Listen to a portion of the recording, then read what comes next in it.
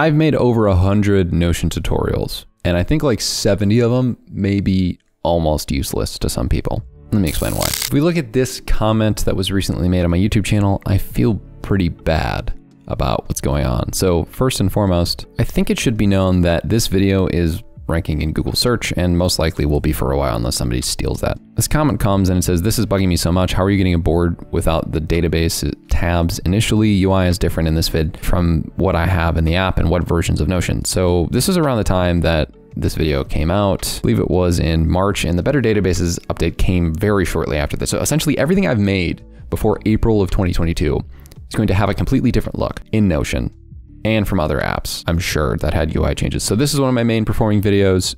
8.4k views, consistently ranking in search. In February, I dropped this video, which is my most viewed video of all time and probably will continue to be because it ranks in search very well. This is a video that's one of my better performing videos as well and like always ranks in search and has been ranking in search since September of last year. And even other videos like this perfect Todoist GTD one has been ranking in search since October of last year. The issue with all these different applications is that when you have these big UI updates, people ask me questions like, hey, how do you get this filter view? I'm pretty sure I just got a comment about a Todoist filter view. Yeah, three weeks ago, how did you add label section to the sidebar on the left? The UI has just changed. I can't fix that. I understand that UI updates are amazing when they work. But the problem is when I make a tutorial video, it ranks in search. The, the premise of the idea, generally speaking, is good. I make half decent content, I'd say, but then people just don't use things probably as intuitively as me. I'd say the reason that I make all these videos is because I have minorly better intuition than the general population how to navigate these apps because I have more experience in them. So then when somebody who's trying to look for help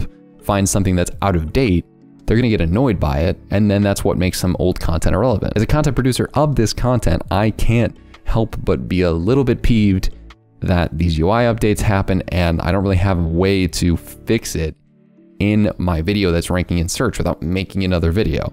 But then it's like, well, he's just making another piece of content that's not really adding value, but it's like, I kind of have to sometimes. I'm gonna have to recycle content at some point with a lot of these old videos because the UI is just going to be that much different. Notion now in comparison to what it looked like before, I mean, even the color scheme's not even the same. The icons that they just added aren't even the same. Now, here's an issue that I keep having is the fact that I want to make a Notion course, but Notion keeps making all these updates. Every time I want to make a Notion course, I keep having to like push it back because, well, one, I've been making a lot of videos, so it's like kind of kind of taking up a lot of my bandwidth. But two, every time I want to make a Notion course, I have to add another module. And I know that on Skillshare, you're able to add more.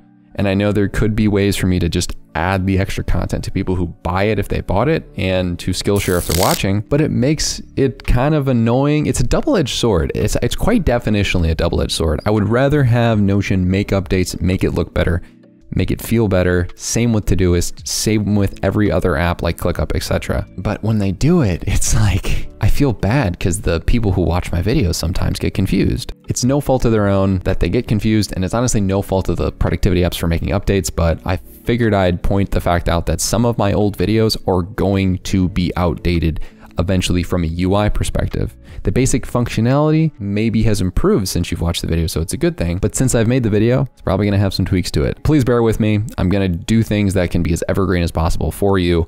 And examples of that could be found right here on how to improve your productivity even more.